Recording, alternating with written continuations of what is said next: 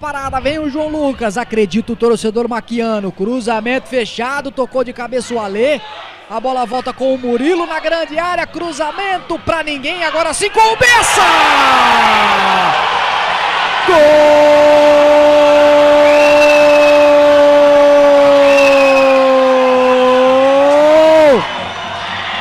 É do Marília! Eric Bessa! Comemora muito, rapidíssimo Eric Bessa!